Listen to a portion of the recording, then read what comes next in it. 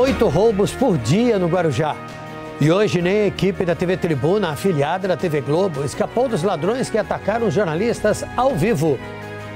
A partir de hoje nós estamos. A partir de hoje nós.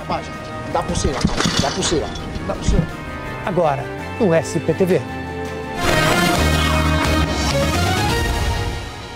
Boa noite.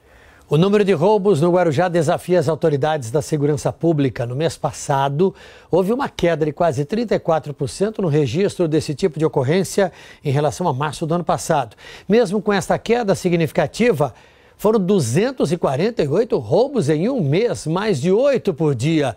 Um pesadelo para moradores e turistas. Hoje, uma equipe da TV Tribuna foi roubada durante uma entrevista ao vivo por um ladrão que chegou armado e de bicicleta. A repórter Tatiana Jorge, da TV Tribuna, afiliada da TV Globo na Baixada Santista, entrevistava ao vivo o diretor de Vigilância em Saúde do Guarujá sobre a dengue. A partir de hoje nós estamos. De repente, um homem de bicicleta se aproxima já com a arma na mão. O repórter cinematográfico abaixa a câmera.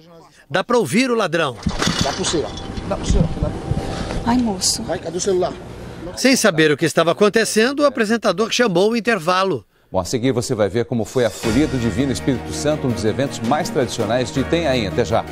O homem roubou as carteiras e celulares da equipe e do entrevistado e fugiu do jeito que chegou, de bicicleta. Inacreditável. Até agora o assaltante não foi identificado.